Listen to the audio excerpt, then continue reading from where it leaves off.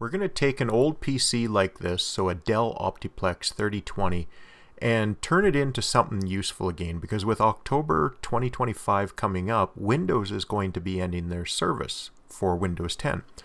And if you have a PC that looks like this or is in the same generation, which is the i7 4770 for this particular machine, then you may be interested in looking at a easy to use operating system. And all we're going to need is a USB like this, your old PC, and I can walk you through the steps of making that PC usable again with an easy operating system. Now the easy operating system is Bazzite. And for example, right here, we're looking at Windows 10 will end in October 2025. So what we're going to need is we're going to need two websites. The first one is Bazzite, and the second one is going to be called Rufus. So right here, we're going to search up Bazzite.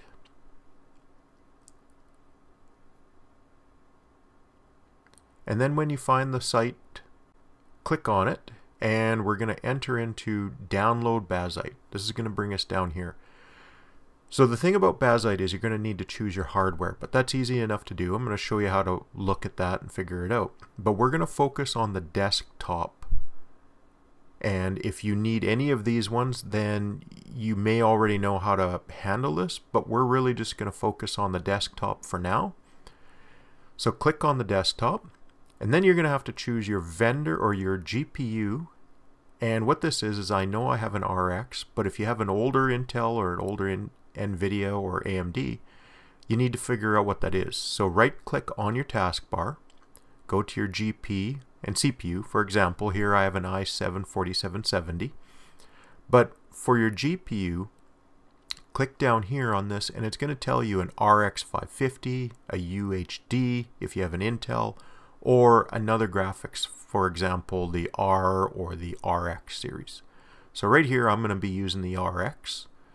But if you had the NVIDIA, you're going to be looking at the GTX or the RTX series or an Intel Arc. You're probably not looking at that if you're going to be transitioning from Windows 10 and you're unable to upgrade to 11.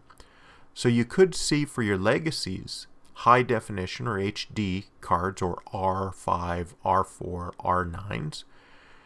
In which case then you're going to click on those older ones. But I'm going to click on this one. You're going to see a few different selections.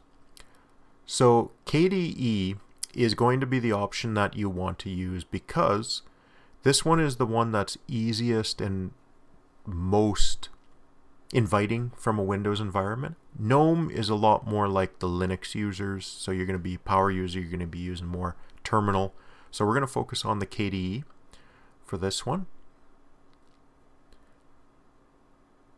Then I'm just going to show you here what's going to happen. So if you choose one of the older ones, you're not going to see this particular option. Even if you click on this, it's not there. You're going to see that, so don't get surprised by that because I have a more, more modern, it's an RX 550. So there's this option right here, but we're not going to focus on it. What this is, is it's going to be showing you at the startup screen Steam OS. So if you want that to happen, where you want to log right into Steam, select yes, but we're going to go with no, so we're going to take no, just a traditional desktop and then you're going to hit download. Save that to your downloads folder. And then we're going to go over and we're going to get Rufus. And this is the part that's going to turn your USB into a little updater or a little installer USB drive. So Rufus, just like this. You're going to click on the website. And then you're going to scroll down until you see download. Once you find download, we're going to download this one. Now you may have a different version, but we're going to focus on this one for the top one. Close this out, so don't select that download. Close this add, and then it'll start its download. Now you can start Rufus, which will be happening very quick. And as you can see, I'm still downloading Bazzite, so we're just going to give that a minute, and I'll be back here shortly. Once Bazzite has downloaded, you're going to double click on Rufus. You're going to enter into it. And here we're just going to use all the defaults. So you're going to make sure the USB is plugged in and this will show up. Now I previously have a Windows on there and we're just going to choose all the defaults here. You're going to click on that. You're going to choose your Bazzite option, which is going to be in your downloads folder.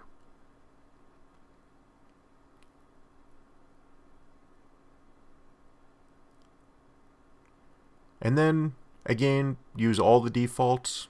That's all we're really focusing on, trying to make this as easy as it is. Now in this case, I can't remember if I did. No, I did not. So I didn't update that one. That was just an updater for Rufus. That will update when you actually install the operating system.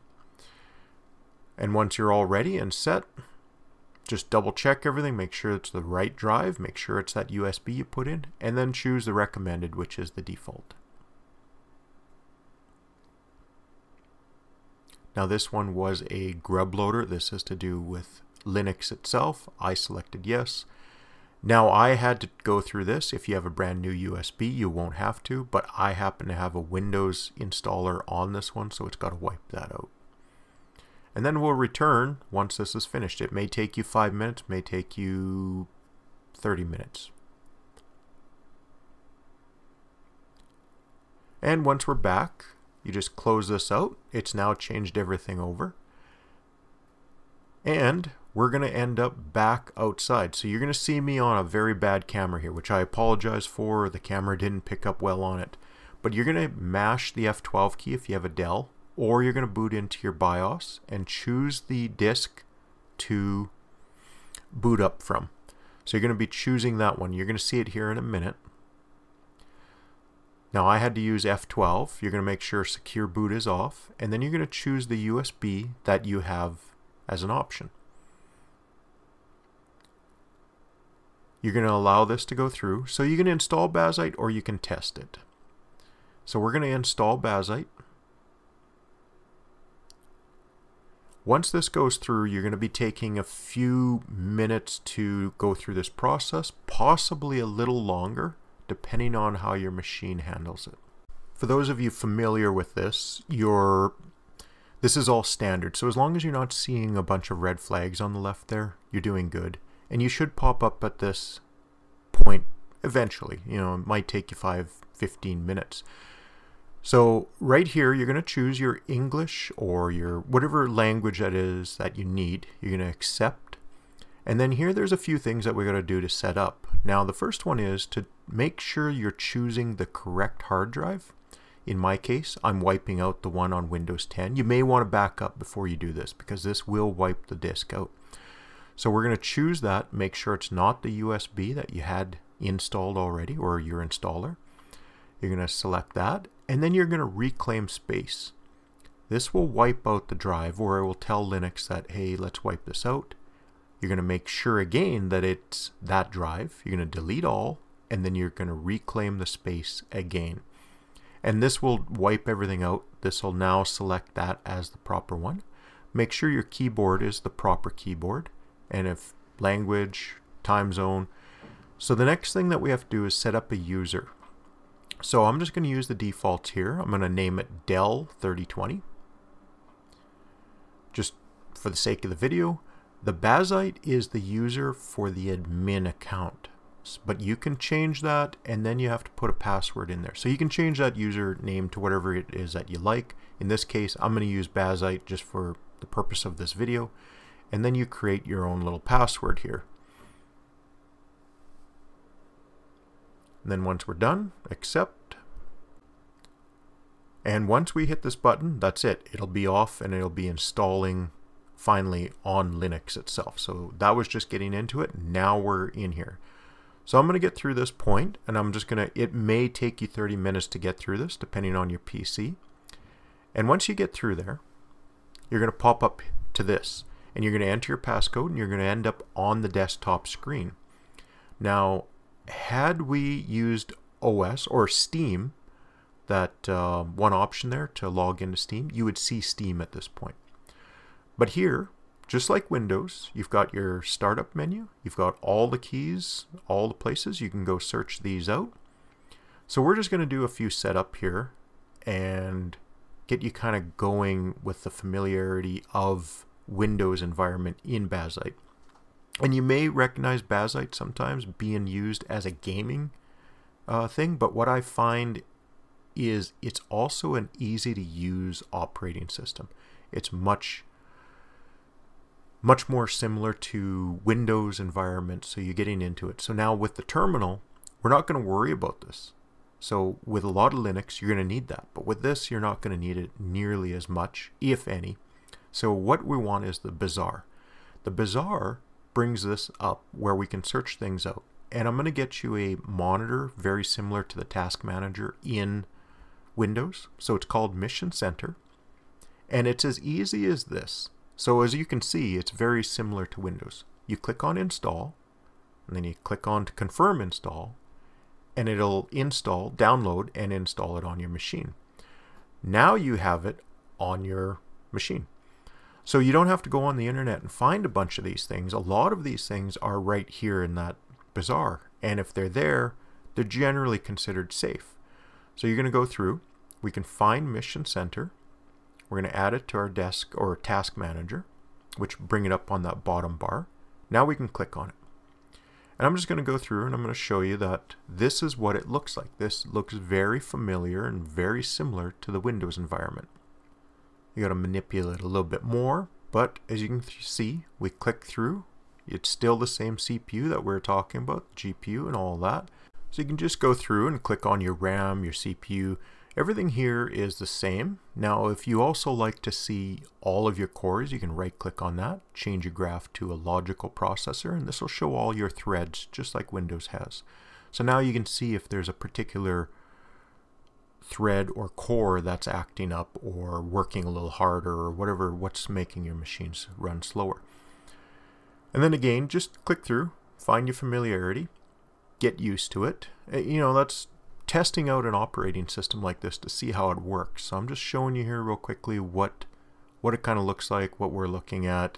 So we're going to go for the gamers out there. We're going to get, this is like MSI Afterburner. So Mango Juice, and as you can see, looks very familiar to Afterburner or MSI.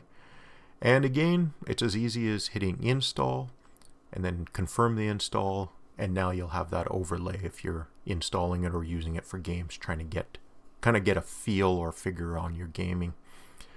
So another one that's handy here is Chrome. Now I know a lot of people don't like Google but there are a lot of people out there who do like Google. So it's as easy as doing this again click your install accept and search it up and there's a lot of little things in here for example this is really only first time I really looked at or Bazzite. I've used it before, but I didn't really get too much into it. So I want to go through this and use it a lot more, make a few more videos about it.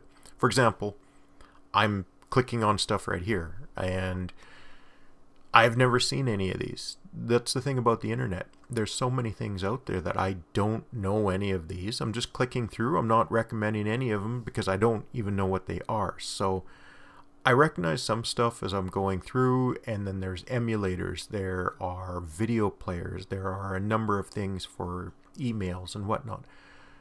And I'm just looking at now that Chromium is a Google Chrome that's not tied to Google, so it's without Alphabet behind it. So we're just going through, and that's what I recommend. Just go through, click through stuff, and figure out what it is. Now, if you want to go back to this part, you can click on install to see what you have installed or you click on that little icon there that I did and you'll come up with this bigger thing and you can just scroll through the list and see if there's things you recognize or these are emulators for example if you were to run emulators on this machine for gaming for old retro games there's new games there's OBS there's Discord there's all these other things that are in Windows that are here there's Spotify, VLC, uh, Jellyfin for anybody who wants to make Mediaplex. Now, there's also the workload too, as you see there. But I'm going to go through and we're going to test out the internet here. And this is Google because now it's updated and installed. So a lot of people is going to be using these older PCs, mostly just to go online like this. So we're not looking at gaming per se. It's just you're trying to get a computer that's going to work for you after Windows 10 depreciates their that version and your computer is unable to update to Windows 11, but it works perfectly fine. So as you just scroll through, I just recommend scrolling through and, and learning and seeing some of the things. Now I've looked at a few of these on the way here. CPUX will tell you a little bit of stuff.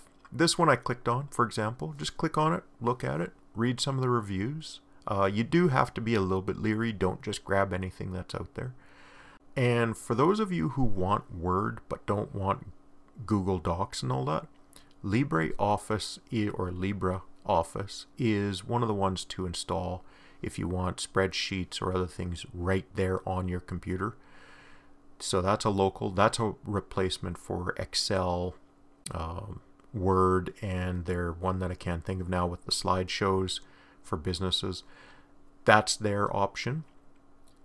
And we're just going to go into Chrome one more time. And I'm going to show you to move something onto your desktop. So you're going to click, drag, and then copy here or link here. Now I chose linked here and then that pops up this icon. Now we can double click on the icon and it'll bring us to Google Chrome. So we're going to close out here and we're just going to go through and find our settings. So system update, if you choose this, it'll bring it to here and you get, it's not that bad. It's So there's a way to change this to a manual. This is kind of like the manual, but it's also an automatic way that we can do that. And I'm going to show that setting in a little bit. So in this case, we're just going to say yes. This is instead of having to type in that sudo apt update and then sudo apt upgrade, and then that would update your operating system and all the other files that needs updating. This one just does it automatically. So you can click on that. You don't need to type in anything intimidating like that. And this is just going to go in the background. So right here, we're going to go into System Settings. And I recommend going through and just checking all of these things out.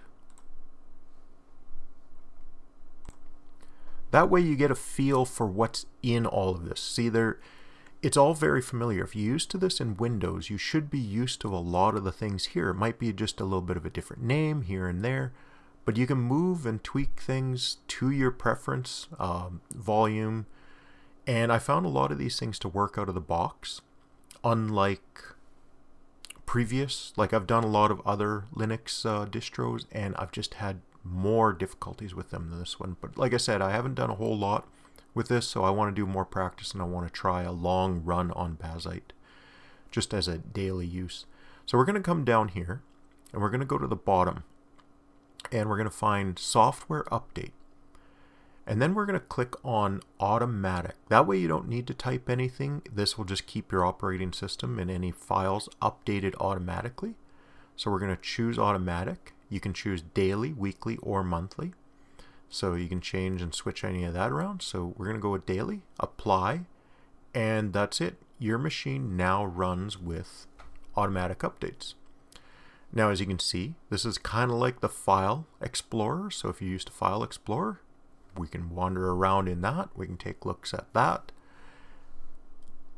And it's just, it's more familiar that I found, myself personally, to work and operate like a Windows environment. And so I'm going to leave that at that. Uh, you're mostly there. Take off. Go play around. Work a little bit with it test it out, see if it works for you, and just play around.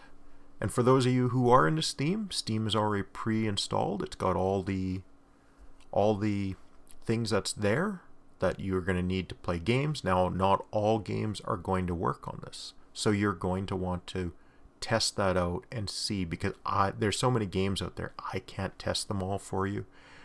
Your best bet is really just to go out there, try it, your games are much different than my games and so on. So if you're doing any of that, I just recommend trying it yourself and seeing what works and what doesn't. So I'm going to be working with Bazzite here for a little bit, but uh, let me know what you think in the comments and good luck.